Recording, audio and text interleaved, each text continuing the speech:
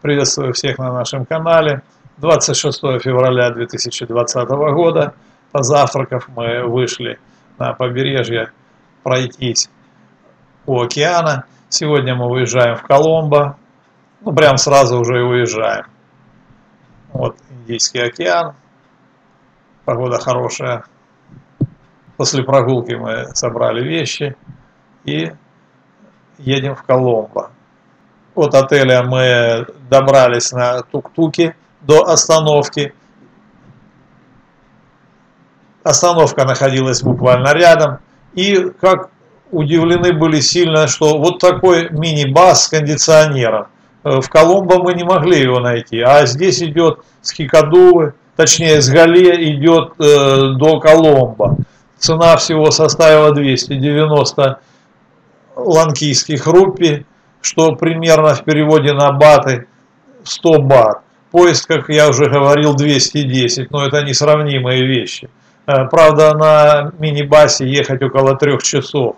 Но идет он шустро, быстро, конечно. И, что удивительно, были пустые сидячие места. Э, потом немножко мини-бас заполнился, и людям пришлось стоять. Пока едем, я расскажу вам о Шри-Ланке. Шри-Ланка находится в Южной Азии. До 1972 года страна называлась Цейлон, э, что означает «славная, благословенная земля». Численность населения Шри-Ланки 21 миллион человек. Средняя продолжительность жизни 73 года у мужчин, 77 лет у женщин. Сингальские и тамильские языки являются официальными э, языками. Э, а также английский имеет официальный статус языка межэтнического общения. Экспорт страны составляет 8 миллиардов долларов. Экспортирует текстиль, одежду, чай, специи, драгоценные камни, кокосы, резину, рыбу. Основные покупатели США, Великобритания, Индия, Германия, Бельгия. Импортируют э, на 12 миллиардов долларов. Это нефтепродукты, продовольствие, промышленное оборудование и транспортные средства. Основные поставщики Индия, Китай, Иран, Сингапур. Также расскажу немного о бюджете поездки. Но прежде чем говорить о бюджете, я хотел бы сказать, что сначала мы ехали в Сингапур. Вообще у нас по плану было посетить Сингапур. Но так как вы знаете, что э, если летишь с Бангкока, э, например, в Сингапур, то возвращаться в Бангкок уже нельзя. Нужно вылетать в какую-то третью страну. И вот мы выбрали Шри-Ланку. Почему мы выбрали Шри-Ланку? Потому что это э, направление, которое сейчас все больше и больше осваивается туристами. Э, много есть э, видео по этому поводу в Ютубе. И мы решили своими глазами посмотреть на Шри-Ланку. Ну, что можно сказать о Шри-Ланке? Что да, океан, конечно, есть океан. Мы в свое время большую часть жизни прожили на берегу Тихого океана. И поэтому было интересно посмотреть на Индийский океан. Ну, океан, конечно, это мощь, это э, отдых для активных людей, серферов. Нам, конечно, такой отдых уже не подходит. И вообще Шри-Ланка, такое впечатление для нас сложилось, что это для молодых людей.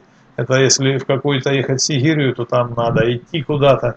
Мы уже, конечно, э, склоняемся к более э, такому э, спокойному отдыху. И, конечно же, если мы куда-то выезжаем из Таиланда, и в том числе даже и по Таиланду, э, все-таки нам хочется посмотреть новые места. Пляжный отдых нас уже не очень интересует, потому что в самом Таиланде мы можем прекрасно отдохнуть э, на море, которое, в принципе, нас вполне устраивает, спокойно, именно море для нас, для таких людей, как мы. Ну, что по бюджету. Значит, на Коломбо. А, Прежде надо сказать, что эта поездка у нас была с 20 февраля по 27 февраля. Э, на Коломбо мы потратили 10 тысяч бат, на Сингапур 20 тысяч бат. Но это на все, и отели, и еда, там, и походы по экскурсиям. Почему говорю в батах? Мы привыкли в баты. Э, билеты нам обошлись э, около 19 тысяч бат. Итого вся поездка Сингапур, Шри-Ланка нам обошлась около 50 тысяч бат, э, что примерно составляет 1600 американских долларов. или на то время в рублях это было 105 тысяч рублей. Сейчас я не знаю, наверное, от 120 тысяч рублей. Ну, считайте сами. Проехав в мини-басе 3 часа, мы приехали в Коломбо. Приехали на площадь около железнодорожного вокзала. И оттуда э, аж за 500 рупий товарищ, конечно, заломил. Мы добрались опять до своего же отеля, в котором были в котором останавливались, когда ехали в Хикадуву. И вот мы снова в Коломбо, и опять в том же номере, в том же отеле. И он кажется уже не таким плохим, э, как после Сингапура. Но удивительно, что э, первый раз мы арендовали э, стандартный двухместный номер, а теперь это делюкс уже. Как-то интересно, цена та же, правда. Ну, уже он вроде и ничего. Заселившись в отель, мы поехали поесть э, в туристический и деловой район Коломбо. Ну, здесь цены, конечно, даже не то, что на Хикаду. Вот такая маленькая бутылочка пива стоит, э, если в переводе на баты уже 70 бат, там стоила большая.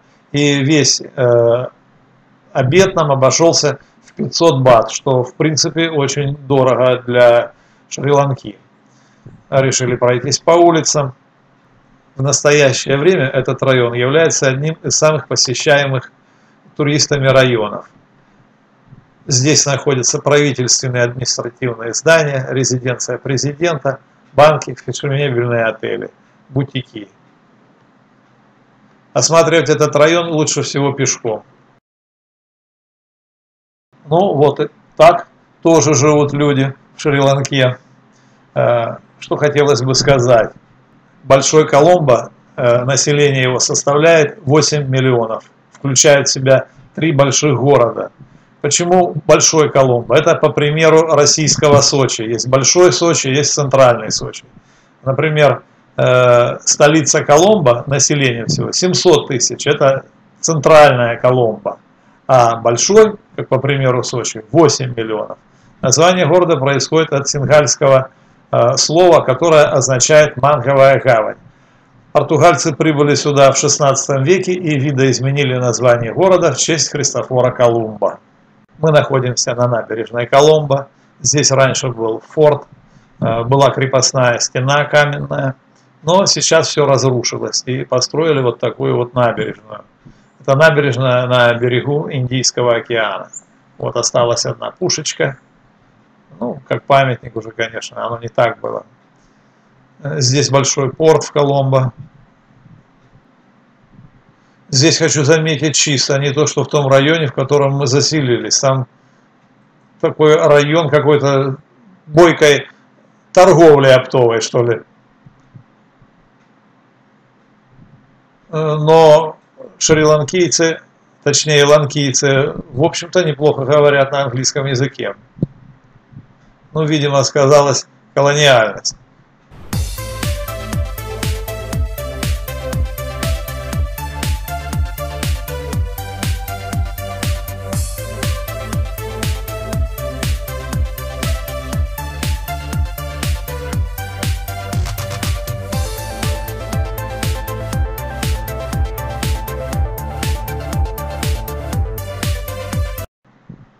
Вот перед нами порт вдалеке.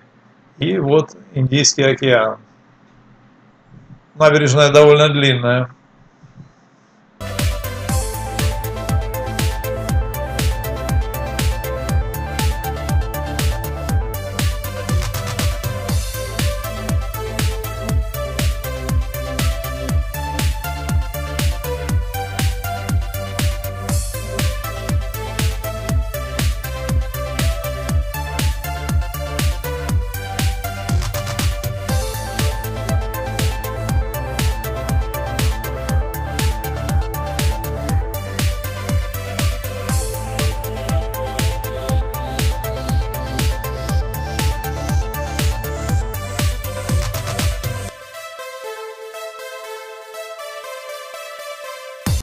Впереди мы видим обзорную площадку.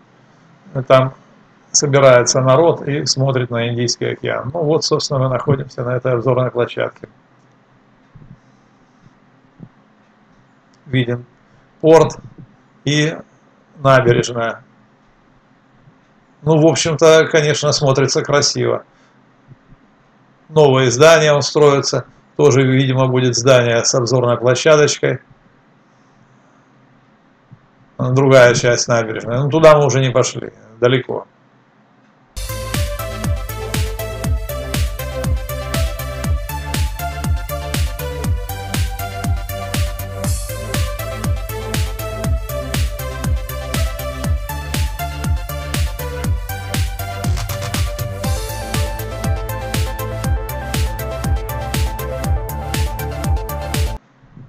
Вот небольшая полянка, где запускают змеев. Ну, видимо, там же их и продают.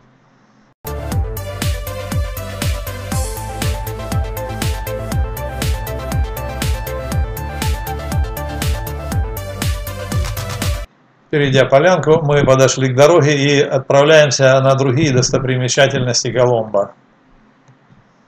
Перед нами одна из достопримечательностей Коломбо – телебашня «Лотус».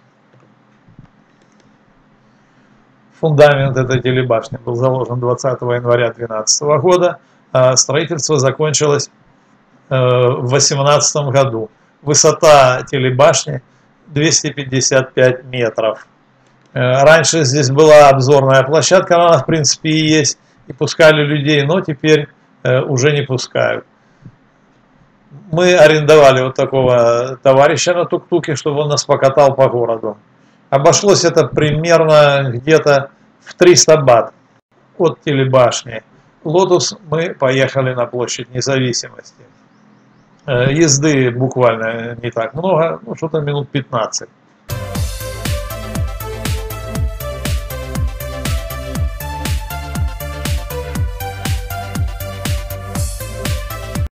Вот перед нами площадь независимости.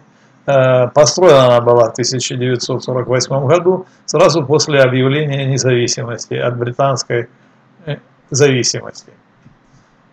На площади располагается мемориальный зал. Возле площади находятся планетарии, парки. Эти места любят посещать туристы, а также жители Шри-Ланки. Посетив площадь, Э, с площади мы поехали в отель.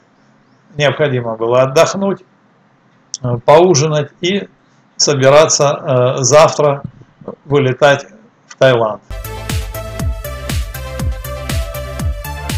Такая куча маленьких тук-туков едет. Что интересно, здесь нет никаких правил. Если кто-то говорит, что в Таиланде как-то все хаотично, в Шри-Ланке, я бы сказал, очень сильно хаотично.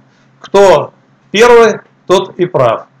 Неважно, какая у тебя машина, большая, маленькая или вот такой вот драндулет, все пихаются сразу сами. Первые, чтобы проскочить. Потом стоят, вот как бараны, напоминает, вот действительно, вот как идет отара овец. На этом путешествие наше подошло к концу. Мы улетаем в Бангкок, в Дон Муанг. Следующее путешествие у нас должно быть в апреле в Индонезию, но из-за коронавируса мы были вынуждены сдать билеты.